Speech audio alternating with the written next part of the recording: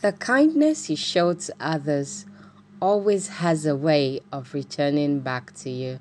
Good morning.